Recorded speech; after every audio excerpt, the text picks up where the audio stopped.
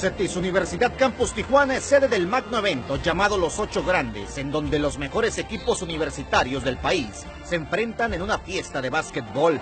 La quinta edición ha dejado partidos espectaculares, reñidos, peleados de principio a fin. En la rama femenil, el equipo con más campeonatos es la OPAEP con tres, y en la varonil, los borregos del TEC Monterrey Campus Hidalgo ya tienen dos en su cuenta.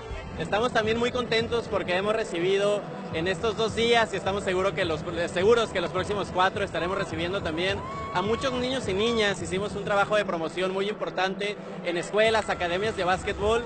¿Por qué? Porque nosotros sabemos que estas muchachas y estos muchachos son un ejemplo. Aspiracionalmente, eh, gracias al básquetbol, gracias al deporte, tienen una beca para estudiar en las mejores universidades, como lo es CETIS Universidad. Hoy por la tarde, zorros del CETIS en su rama femenil buscarán avanzar a la final cuando se midan a la Universidad Autónoma de Nuevo León en un partido no apto para cardíacos. En la liga ya se enfrentaron en dos ocasiones y repartieron victorias. 7 de la tarde es la cita en el auditorio del Campus Tijuana.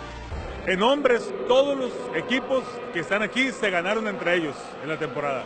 En mujeres, muy, muy parecido eso. Nosotros casi contra todos los equipos ganamos y perdimos. Pero las muchachas, la verdad, ayer hicieron muy buen trabajo. Jugamos contra un gran equipo, la UMAD. Y la verdad, estamos muy contentos con el trabajo que han realizado las niñas. Se han, se han esforzado mucho durante todo el año.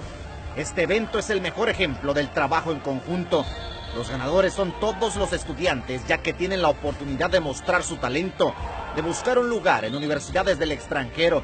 El jugador de los Zonkis, César Martín del Campo, dio su punto de vista sobre este gran torneo.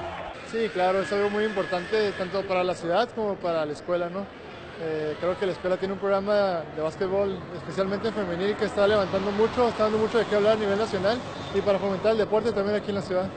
Ya en la duela, el mejor partido de la jornada se dio gracias a la victoria del TEC Monterrey Campus Hidalgo 69 a 68 sobre las Panteras de la Universidad Panamericana de Guadalajara. Un punto fue la diferencia en el electrónico. Desde el primer cuarto se dieron con todo, cerrado y con gran emoción. Fue hasta el último momento donde Juan Contreras se vistió de héroe para darle la victoria a su equipo.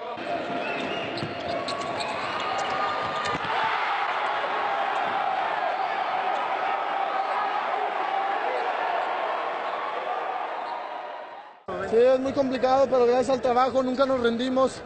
La, cabeza siempre arriba y nuestra mente siempre era ganar, ganar, ganar, mantenernos, mantenernos. En mi mente pasa, si, si piensas en fallar, no mereces ganar.